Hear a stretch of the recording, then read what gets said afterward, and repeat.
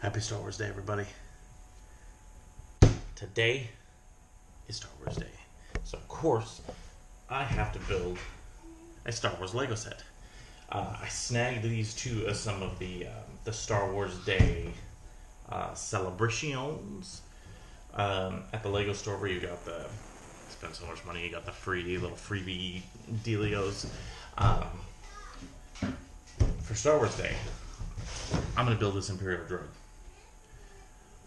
This the Imperial the Imperial probe droid is like by far like one of my all time favorite droids, and I honestly don't know why. Because you only like you really only see it in uh, like The Empire Strikes Back. Uh, I think it's in a couple other places. I, I feel like it, it popped up in the animated show um, a couple times. Um, but I, I just I love the probe droid. I love it. I love its weird little sound. It's weird little. Gosh, yeah, it's such cool. So, uh, the Imperial probe droid box is obviously very, uh, you know, centered around adults, similar to the um, the the Boba Fett bust that we had. It's got some cool shots of the probe droid there. Oh, yeah, I'm super excited to start building this one. Uh, let's get to do it.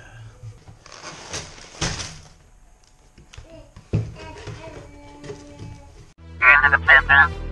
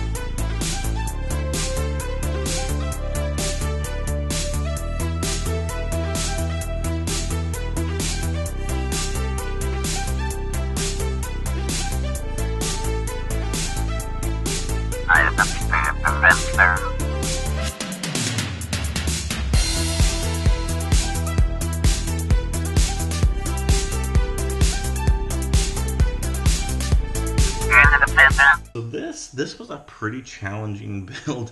You probably saw in the uh, the time lapse there that I was having to take really close looks um, at where where stuff went in the manual, and a lot of the times it was hard to tell the difference between what was gray and what was supposed to be black. His arms are a little bit fragile, um, but they are all really posable and really cool looking. It definitely looks like the probe droid. He's really neat. Um, and then the top of his head also turns. And it's got a lot of cool detail, all those cool little lenses and different things that, um, you know, the probe droids kind of searched out our, our rebel spies. Oh, God! His, his arms are so fragile. They're just they're just barely holding on. It seems like. Damn it. Okay. I really hope they keep making more droids. I'd like to get that R2D2 set, but that's a that's a big spendy one. Um, and then I would love it if they did a, a similar set like this, or maybe a Technic one of the, the I forget the names of the droids. Um, but the white droid from a Han Solo movie, I loved her to death. She was freaking awesome. And then the um, the droid that Alan Tudyk did the voice of in uh, Rogue One. I'm forgetting its name too. I'm really sorry. I know I'm uh, throwing my way my my geek card right now. Um, I would love it if they did sets of those, or even like a. I'd like to see a full body set instead of just a bust, but I would settle for a bust or something too. It'd be cool. But yeah, I love this set. Nine out of ten. It'd be a ten out of ten if it weren't for the dang stickers. But let me know in the comments down below anything about Star Wars. Favorite Star Wars movie, favorite Star Wars Lego set, what Star Wars Lego set would you like to see? I don't know. Whatever you want to do. Until next time, everybody. Thank you so much for watching this awesome Lego build uh, that I kind of struggled with. It was very challenging. Until next time, please be kind to each other, and I'll see you guys in the next video. Logical high five.